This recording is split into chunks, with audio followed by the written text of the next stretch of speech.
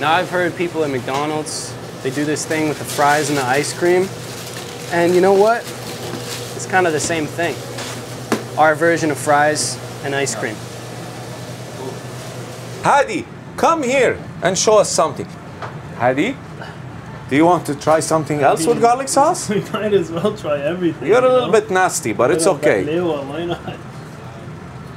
Not being that bad. Hmm. Bring their baklawa here. Oh my ketchup, God. No ketchup. There you go. I'd No way. All right. I can't believe I'm saying this.